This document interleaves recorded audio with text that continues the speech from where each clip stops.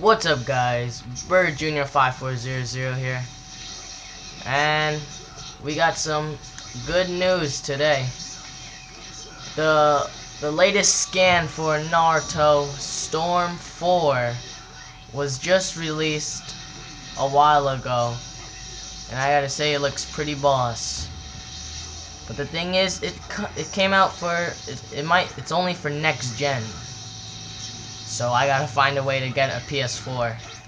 But anyways, since the game came, since the scan came out, I wanted to show you guys my wish list on for the new game of characters I want.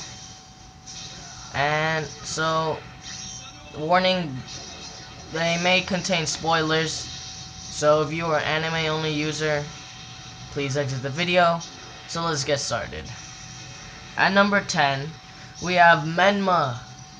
After watching Road to Ninja, seeing how boss Menma was, I wanted to have him in the game because who who wouldn't want to play as Menma? Come on now.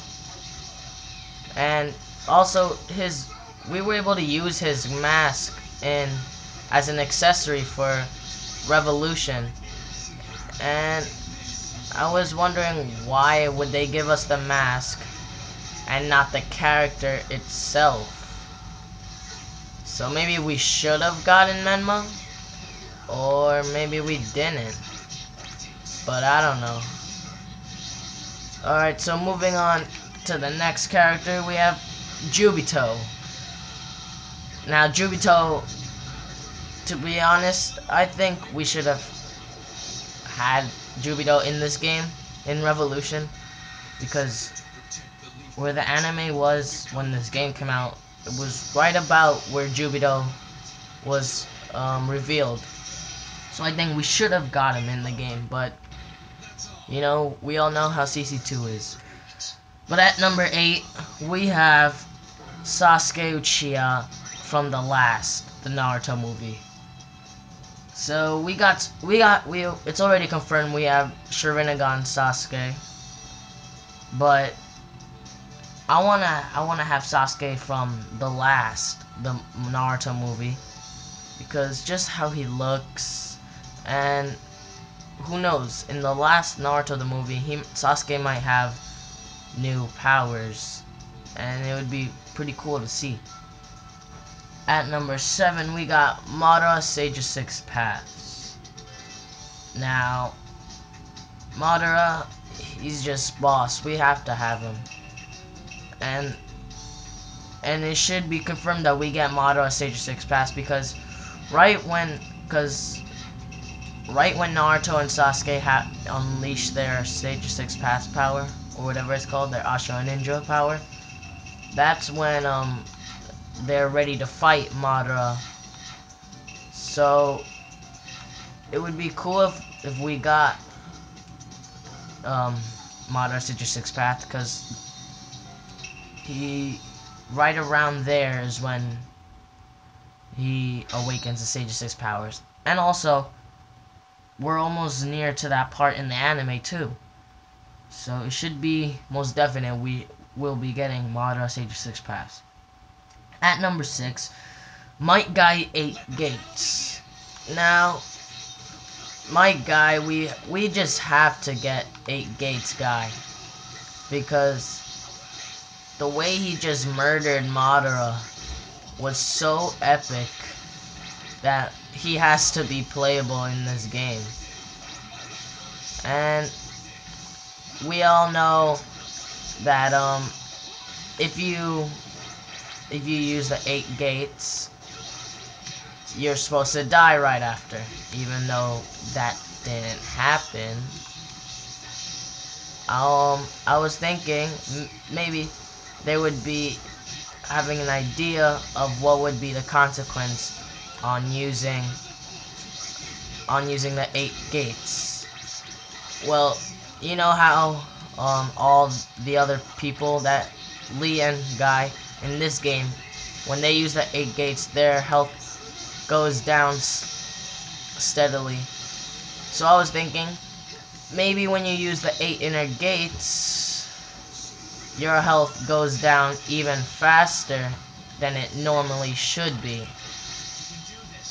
And that I think that seems like a fair a fair consequence because it wouldn't it it just wouldn't be fair if if um if you're if you just died right after that after you awaken the the eight inner gates. But let's just move on. At number five we have Kakashi double Sharingan. I know everyone everyone would everyone wants Kakashi double Sharingan. He has the Susanoo that's just boss. And and I know I just I just want to see Kakashi playable as that because he's just boss like that. Right when I saw him in that in that manga chapter, right when I saw him using double Sharingan and Susanoo, I already know I couldn't wait to see him playable in a in the next Naruto game. Uh, but anyways, number four Spiral Zetsu, aka Yamato. Now, if you all remember, Suigetsu, Orochimaru, and Karen, or Karen, they all went against Spiral Zetsu when he summoned the giant statue. Now, Spiral Zetsu, he seemed pretty OP when he used those chains on Karen.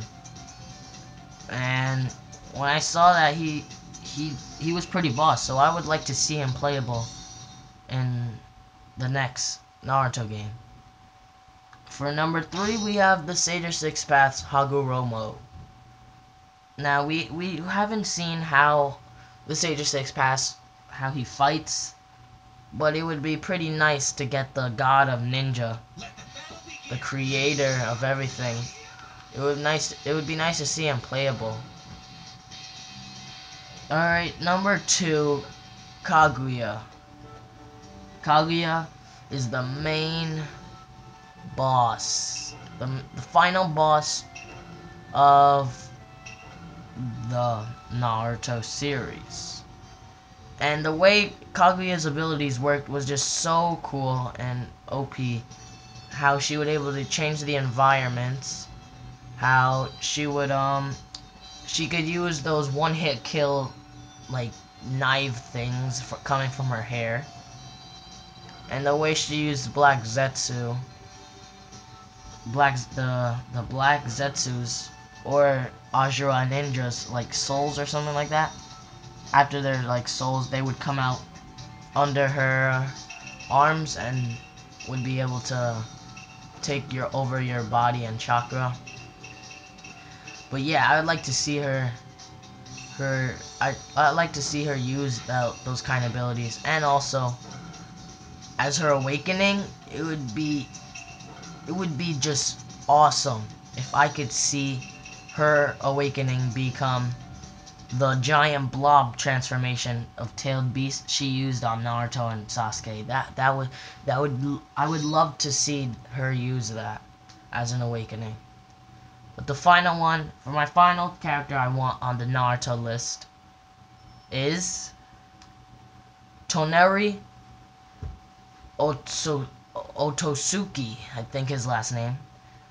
For those that don't know, Toneri is the main boss for the last Naruto the movie. And I just I just wanna say I wanna see him as the as a playable character because come on. If we if we're getting Nar the last if we're getting Naruto the, from the last uh, playable character then we should at least get Ton Toneri playable too. Because come on. Like it's only logic to get him as his playable. And and I really like to see him use his transformations and his abilities that he uses is in the movie. But anyways, that's my list, guys. I hope you enjoyed it as much as I did.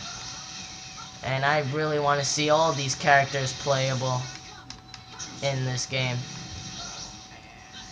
But yeah, if you guys think I missed anybody, please leave it in the comments.